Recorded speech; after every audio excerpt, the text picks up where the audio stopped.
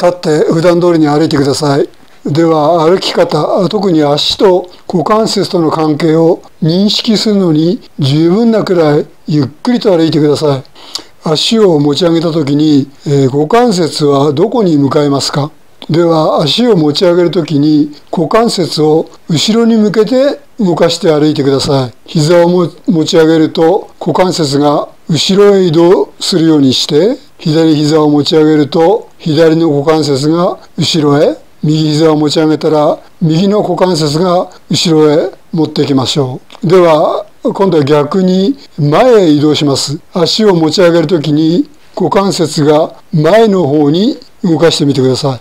この2つの方法の違いを認識しています交互にやってあなたが何をしているのかを確認してください。一度は、えー、持ち上げた方の股関節を後ろの方に引いて、そして一度は持ち上げた方の股関節を前の方に出してみてください。これを交互にやってください。ではもう一度足を持ち上げるときに股関節を後ろにして歩き続けてください。では仰向けで休んでください。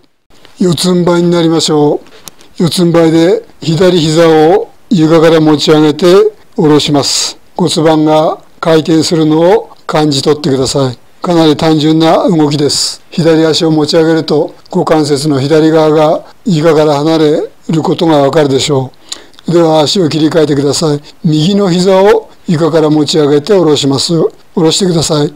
やめて仰向けで休んでください。この単純な動きが立った姿勢では少し不明確になるのが後でわかるでしょう。さっきの動きを明確にするためにスケルトンを使ってお見せしましょう。左膝を床から持ち上げてみましょう。このように骨盤が回転するのがわかります。股関節が90度に曲がっている時はとてもシンプルで明確です。そうするつもりはなくても股関節は自然と後ろに移動します。しかし立っている時のように股関節と膝をまっすぐにすると少しはっきりしなくなります。股関節は前にも後ろにも進めます。両膝立ちになってください。えー、右の膝を床から持ち上げて下ろしてください。で、左の膝を持ち上げて下ろします。少しで結構ですから、交互に膝を床から持ち上げて下ろしてください。膝を持ち上げた時に持ち上げた方の股関節を後ろに動かしてください。ではやめて仰向けで休んでください。両足に立って、立って、えー、上半身を股関節で曲げて前傾してください。その姿勢で、えー、足を交互に持ち上げてください。右の足を持ち上げると右の股関節が後ろへ移動するのがわかるでしょうか左足を持ち上げると左の股関節が後ろへ移動します。では足を持ち上げながら上半身を徐々にまっすぐにしてください。でも股関節はまだ後ろへ移動していますね。上半身をあまり持ち上げると股関節が後ろへ行かずに前へ行きます。上半身をこれ以上持ち上げないでください。ではこのまま歩いて足を持ち上げると股関節が後ろに行くように歩いてください。徐々に普段の歩きに戻しますが、股関節は相変わらず後ろへ動くように歩いてください。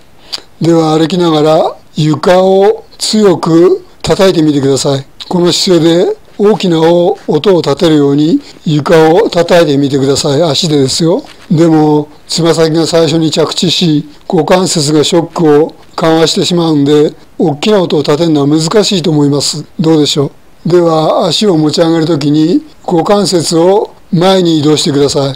そして床で足を、足で床を叩いてください。かかとが床に最初につくので、今度は大きな音が出ると思います。どうでしょう？